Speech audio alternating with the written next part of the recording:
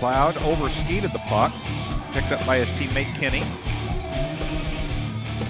Now to George, works his way to the top of the uh, slot and fires a wrist shot in over Massa's shoulder, and it's 1 0 Bemidji.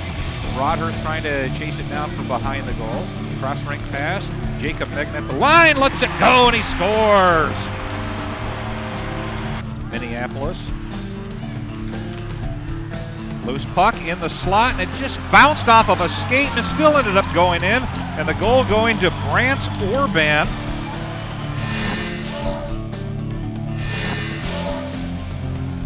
Aaron McLeod and Josh Archibald for the draw. They finally drop it down, and a whistling shot from the right point goes in from Sam Windle. Wouldn't go. White back over to Broadhurst along the left wall.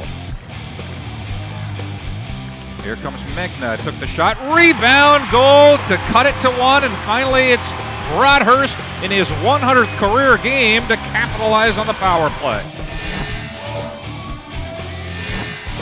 It was Hunt's penalty that the Mavs capitalized on in the second period. He fires it off the crossbar, or excuse me, off of the left post, but the rebound gets put in anyway went in, the puck did not. Anilowski plays it over to the far side. Young fires it off at the glass. It bounces out in front, and Broadhurst scores!